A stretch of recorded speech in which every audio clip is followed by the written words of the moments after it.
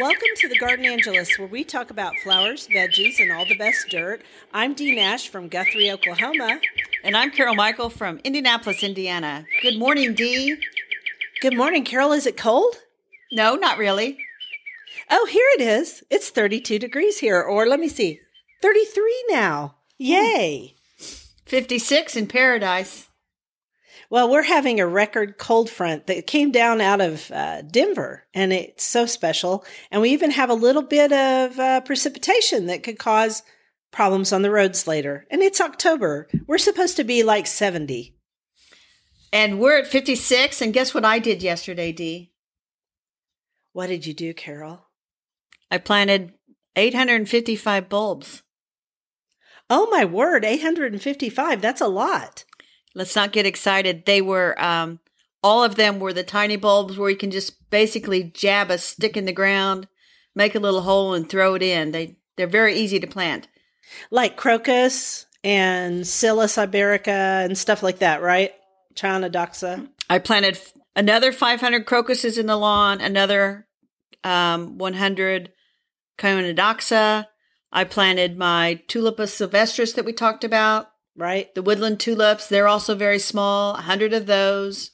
Nice. Um, the the crocuses you made me order from Old House Gardens, I got those. I had nothing to do with that, listeners. Do not let her try to lay that on me. Remember, listeners, go back to the crocus episode. She told me to get snow bunting.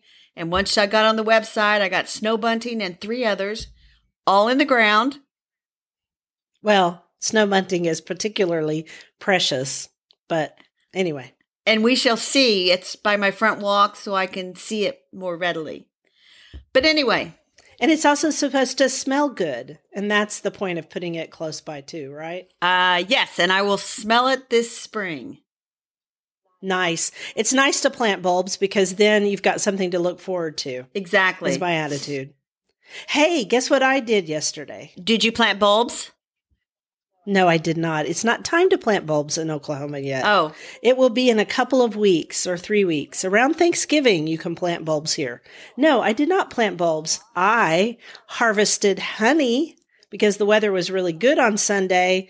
So I harvested honey and yesterday I strained it. And my big honey harvest for my second year of beekeeping is four small jars. But who cares? I got honey. You do, honey. honey. That's sweet. it is sweet. Life is sweet with honeybees. So, does honey ship well? Honey does ship well, but nobody's getting these four jars of honey. Not even you, my friend. uh, well, let's let's move on. If I'm not getting anything out of the deal, we are moving on. Okay, so are you going to do our quote since I opened? I am. Are you ready for this? I am ready. As I looked about me, I felt that the grass was the country, as the water is the sea. The red of the grass made all the great prairie the color of wine stains, or of certain of certain seaweeds when they are first washed up. And there was so much motion in it, the whole country seemed somehow to be running. Willa Cather. I love Willa Cather. Love her. I don't think I've read that much of her, but I know that many mm. people are very enamored with her. Oh, well, you should read O Pioneers and My Antonia and Death Comes for the Archbishop. Those are the three classics and they're amazing. But the reason we're talking about this one, this particular quote is today's flower, quote unquote, is um, the inflorescences on grasses, ornamental grasses. And probably um, Willa Cather was talking about, I want to say, I, I, I have a feeling she was talking about like little blue stem in the fall when it kind of starts to turn that gold and then sometimes it turns a darker color. What do you think? Uh, I think she was talking about the prairie. I'll go as far yeah, as that. definitely, definitely the prairie, but maybe not. Maybe she's talking about big blue stem. I don't know, but you know, sometimes the inflorescences of grasses right before it becomes fall, they turn that beautiful red, and it does look like a wine stain. So it's kind of cool. So, what do you want to talk about grasses? Do you well do you grow many? Um, I have, I can count all the grasses in my gardens basically on one hand.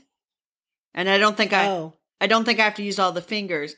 So I am not enamored with grasses, but I think in the right place, they are, uh, appropriate. Okay, so here's my theory on that. I read your note where you said that the other day, and I thought, I wonder why. And here's why I think. Number one, in your climate, you get a lot of snow in winter, which will beat the grasses down, right? And I don't know that grasses um, that far north, ornamental grasses, get as beautiful as they do in Oklahoma, although you do live in paradise. Maybe, maybe Oklahoma and Texas are a paradise for ornamental grasses because in my garden, they're a huge, huge part of it. Well, and I I do not live. I live um, in an area that was not prairie originally. It's more um, like a transition zone between like the woodlands, the timberlands, and the prairie. It's a transition mm-hmm. zone. So I don't know. I just have not been a big fan. Well, let me see if I can help you become a, a little better fan. Okay. Yeah, but just I have to tell you a funny story. So about oh okay about ten years ago, I worked with a garden designer to lay out my beds, and I told her that I would be. Uh, we needed to have like themes for the beds, but then I would be planting willy nilly regardless. And right when we planted my little nano prairie, she wanted to put in one of the grasses, little blue stem, and I says, "Oh, I don't like mm-hmm. I don't like grasses." Her little face fell, and I said, "Okay, put in a few grasses." And they, they do all right. Wow. Okay, I've got my work cut out. For you do. Me. So I do. I do. So here's what I'm going to say about grasses, at least where I live, and why I think they're important to our landscape. And I also live in a transition zone too. I'm in part of the cross timbers section of Oklahoma, but I also I'm like right at the edge between the prairie and the cross timbers. So I I did a post on the blog where I talked about grasses and I've done several, but this one particularly, and I we will link to it in our show notes because I just plugged in the link. So the wind blows a lot here. Does it blow a lot in Indianapolis? Not like Oklahoma. Okay, so the wind blows in Oklahoma, as everybody knows. It comes sweeping down the plain, and it grasses sway in the wind. And not only do they have a feathery grace about them, they make a wonderful swishing sound. And then they provide cover summer through winter for pollinators and the creatures that make your garden sing, right? They also bloom in late summer and early fall often um, when the rest of the garden is starting to wind down. Think of Panicum virgatum, Virginia sweet, switchgrass. It's a great one that blooms in the fall. And then they offer elusive winter interest, at least unless you get a lot of snow. If you get a lot of snow, then they get beaten down. But in my part of the world, we don't get much snow until later. And so they really help my garden look good in the wintertime. And I think they look good every season of the year, except for early spring when you have to cut them back. But then they make room for other plants to shine until they're ready. So I love grasses. Well, and I do have some grasses, uh, like I mentioned, little blue stem, and we can uh, the botanical name is like huge. I hate it. Uh, yeah, it is huge. and I'm not. I'm not even going to attempt it. Little blue stem is doesn't have many other botanical names, but I the designer described it as uh, sort of the matrix, and the forbs are the flowers. So if you have like a little natural planting area like I do, little blue stem is mm-hmm. kind of like interwoven amongst all the other flowers and just kind of uh, for lack of a better way, I would say softens the whole garden.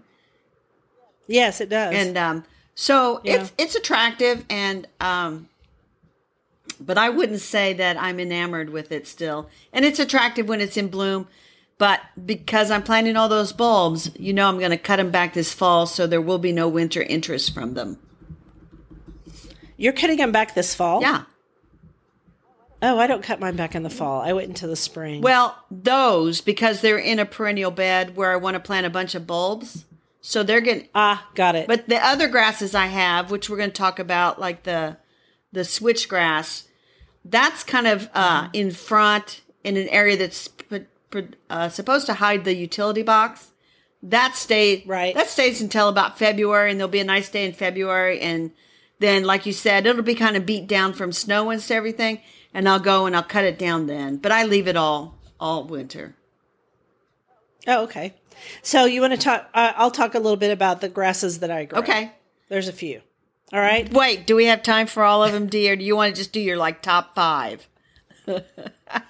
I'll do I'll do my top five. How about Okay. that? Okay, Okay, so my top five, number one on my top five hit chart is pink muhly grass. And you've got to admit, my pictures of pink muhly grass in September are knocked down dead gorgeous, right? They are knocked down dead gorgeous. Dear Indiana listeners, pink muhly grass is not hardy in our area.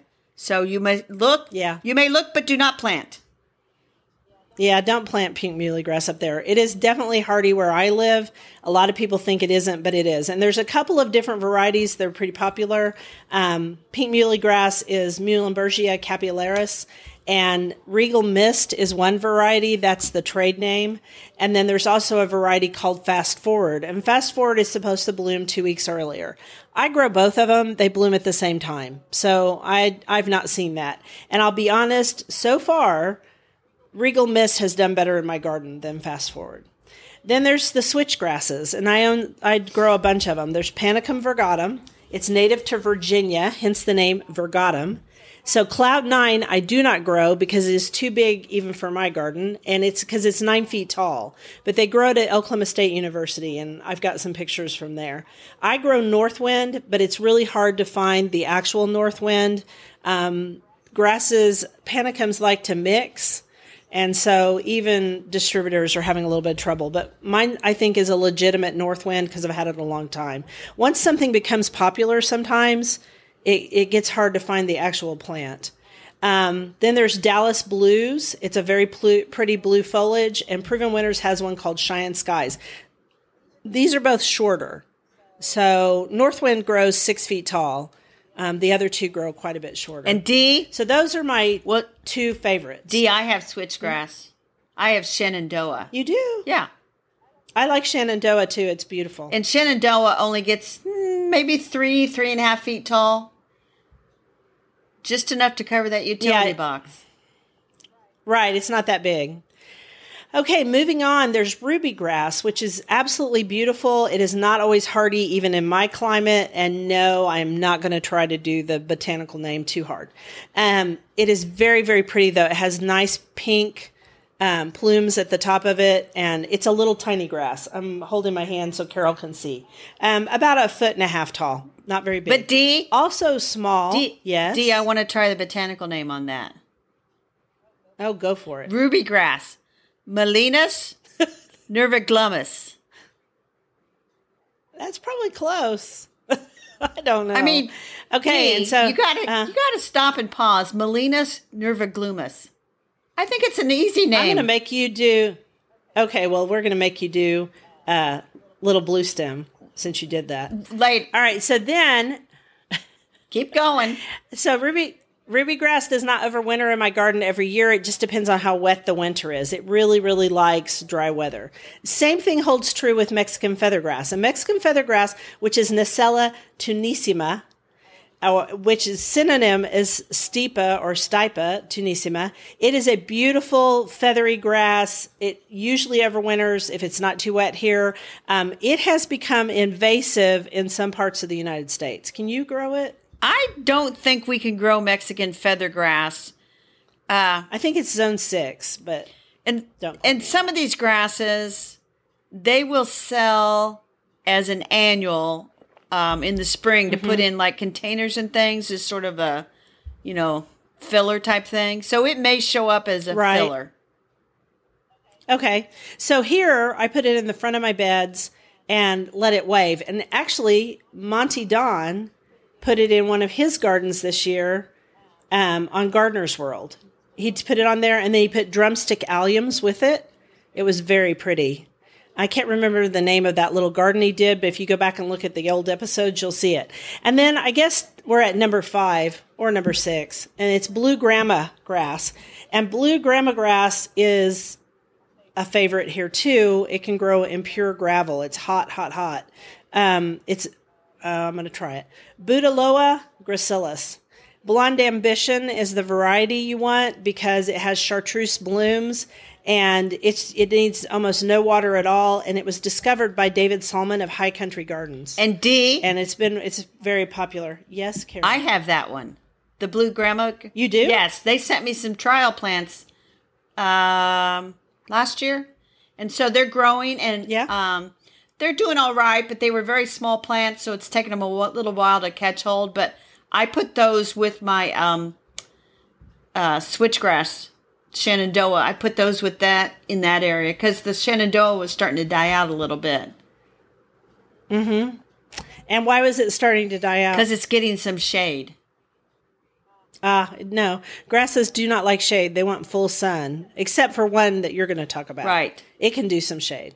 But that's pretty much it for me, except for I was going to say we need to say that uh, Blonde Ambition isn't very tall. It's about two and a half feet, maybe, in height, and it is a very slow grower. I've had my two clumps for years, and although it comes up every year and blooms every year and looks really good, it's just very slow. Well, I, I was going to say the the uh, switchgrass, a little bit of it's getting this shade, and I added the blonde ambition. We're actually because it's I mentioned it's by a utility box. So one day a couple years ago in February, I looked out and there were flags all over the yard marking all the utility lines. And right, a certain company whose initials are AT&T came in and put in fiber optics in the neighborhood and so they had to dig around the utility box and right. they dug out a lot of the switchgrass and so rather than just stick it all back in I put in some of that blonde ambition. It'll look nice. It will. It'll look very nice. And also, we didn't talk about maiden grass, but maiden grass particularly has a problem. Even though I like it very much, it is also invasive in a few places, but not very much is invasive in Oklahoma. It's too hard to grow things here anyway. Maiden grass, which is Miscanthus sinensis, and my favorite one is Adagio because it has that white stripe down the blades. Um, so it looks silvery, you know, in the light. It has this habit, which some grasses do, they die in the middle. They form the donut. The big donut, the big donut of death. That's what they do. So in the middle of the grass, it'll just keep growing outward, outward, outward because there's not very many nutrients in the middle part of the grass. So the middle part dies out and the rest of it just keeps kind of spreading to the outside. And when that happens, what do you do, Carol? Dig and divide.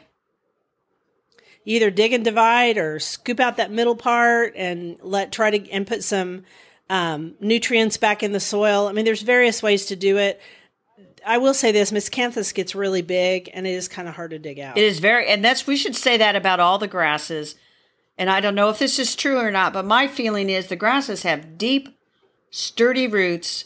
And you think about you know growing in the prairie, and um, they are very hard to dig out once you get them.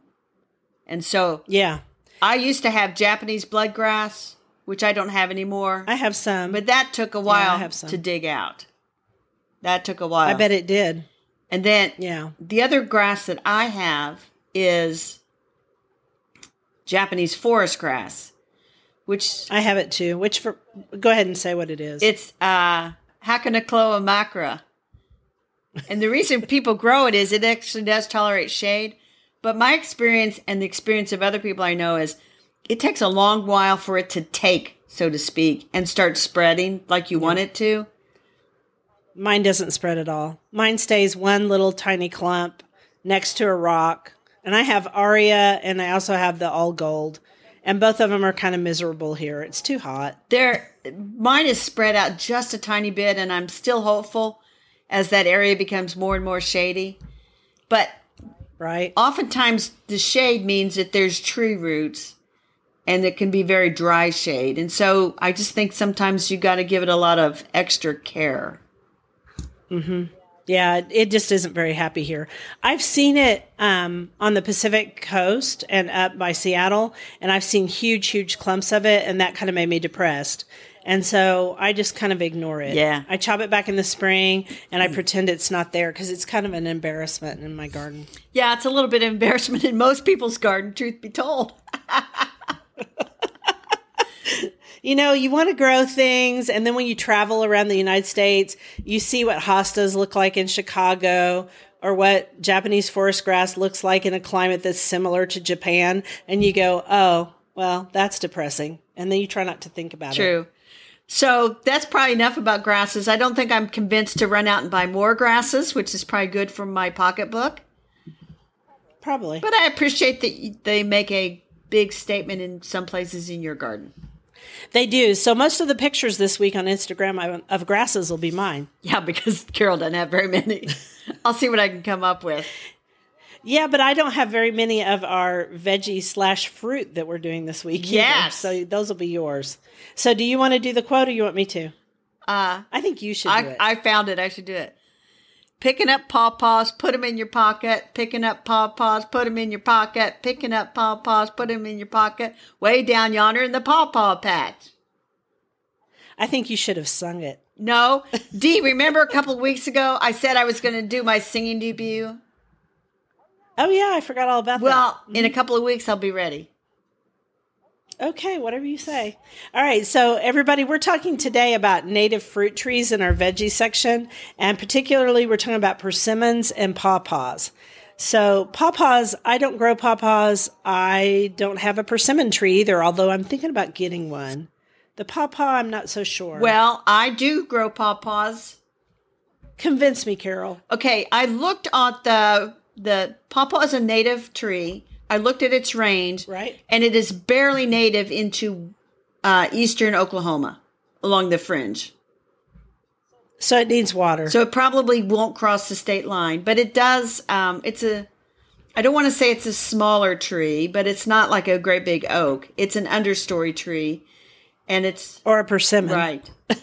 Persimmons are they're huge. huge. And native ones. Yeah. Uh, they are growth forming plants, which is why they talk about way down yonder in the pawpaw patch, because usually there's more than one in a location.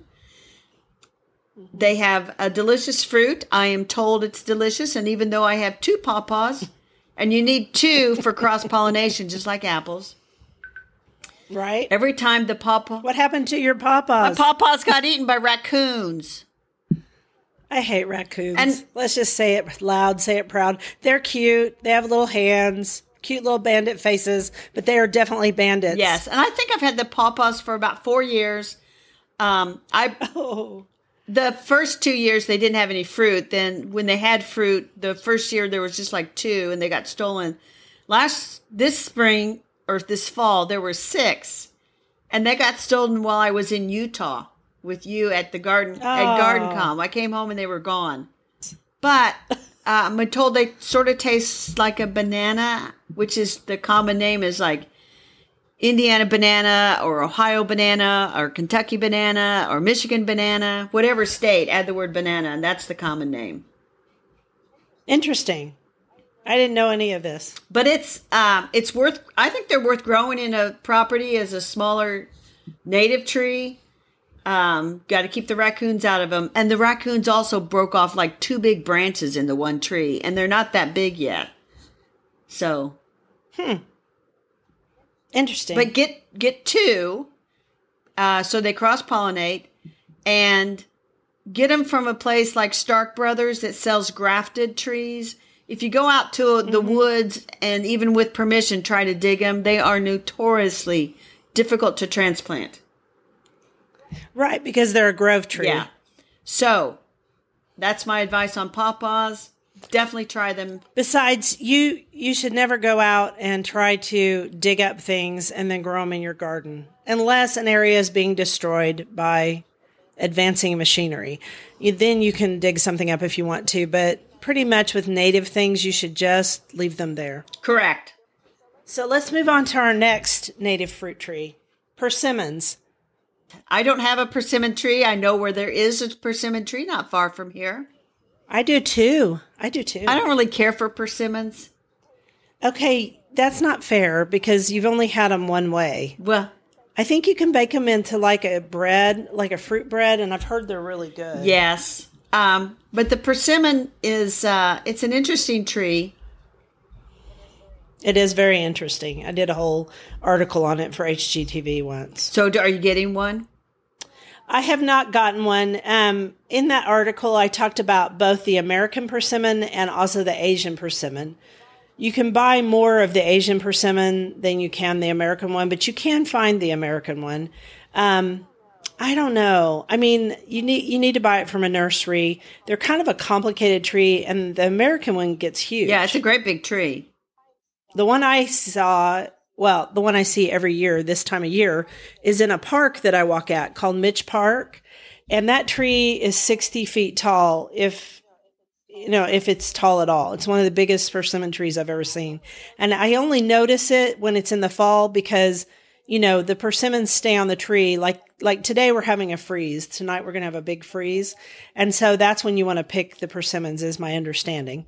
So it there the leaves fall off that tree and you just see it it's just full of persimmons. Right and my understanding too and we'll link to your article so that people can read the actual facts as we speculate about trees we don't grow.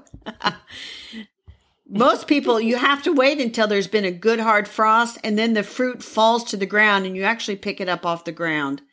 Right. Eh, but they're very nutritious fruit. That's one reason people eat yeah them. and i think the native persimmons uh, once they're in season, there's a very short season, and then people have sources where they get them. The same with pawpaws.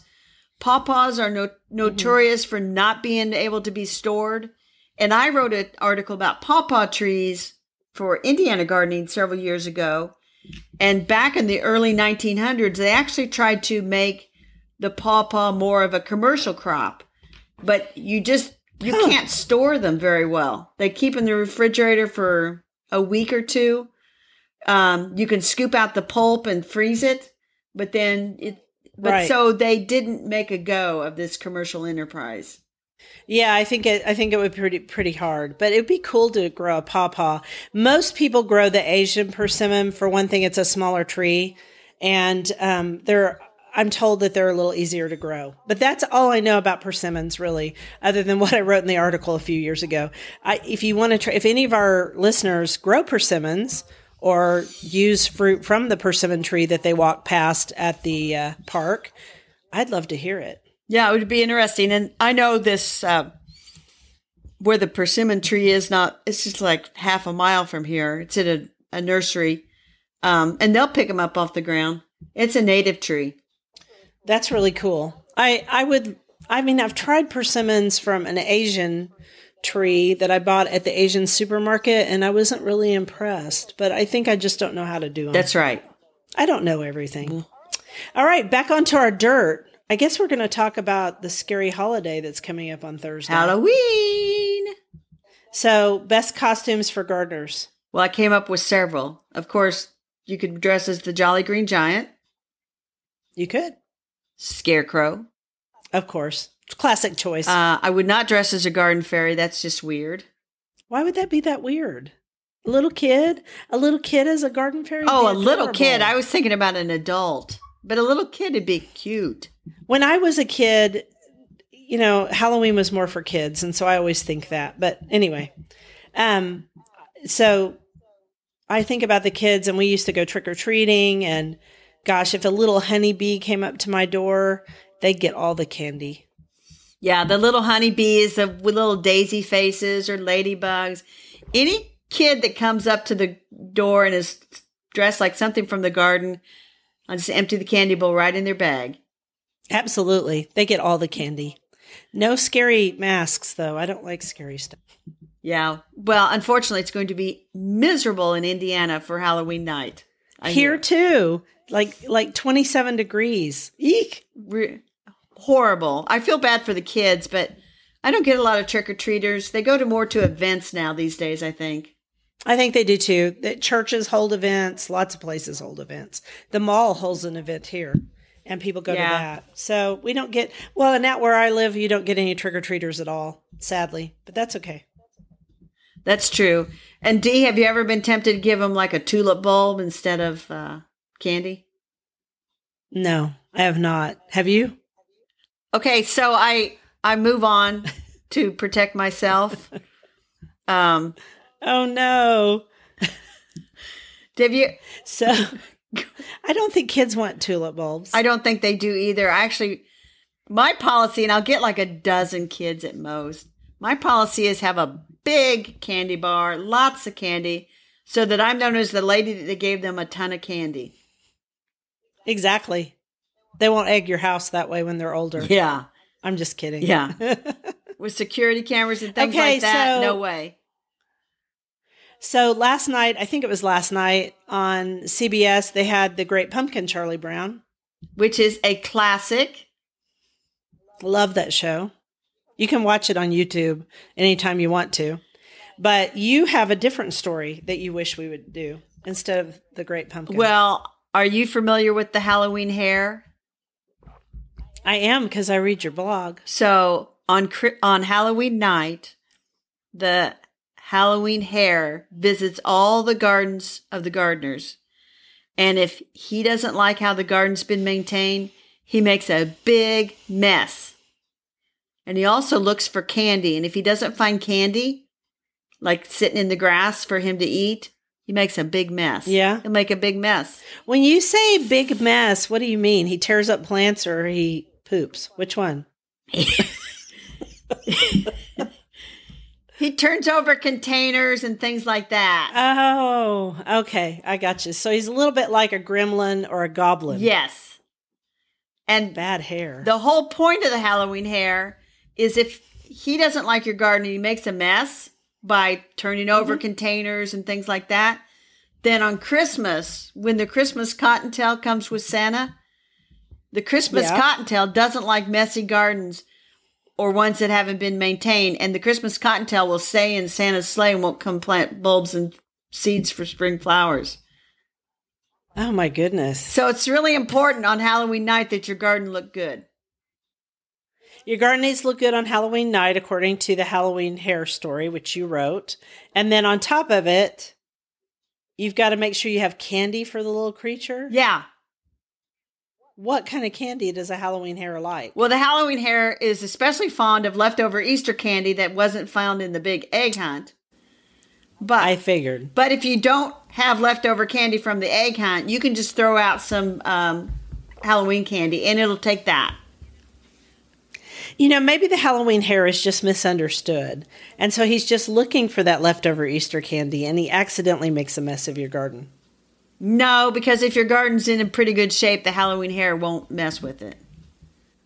Oh, okay. Well, I'm in deep trouble. That's all I got to say. Mine is not in good shape. Dee, I made up the story. I get to make the rules for the Halloween hare. oh, okay. I just thought maybe it was misunderstood like all villains are these days. Yes, all of them are misunderstood. But anyway, um, I hope your Halloween is very nice. I hope yours is too. And I hope all our listeners have a happy Halloween also. And maybe they'll meet the Halloween hare or the great pumpkin. Maybe. Maybe. Anyway, you can find us at thegardenangelists at gmail.com. We are also the Gardenangelists on Facebook, Instagram, and Twitter. And then individually, we are under various names on Facebook, Instagram, and Twitter. And I think, I don't know if she's on Pinterest, but I'm on Pinterest. But anyway, most of mine are Red Dirt Ramblings. Some of hers are IndyGardener, and some of them are May Dreams. And I think that's it. It was great chatting over the garden gate. It's a little chilly today, but I enjoyed our chat. I enjoyed our chat too. Okay, see you then. Bye. Bye.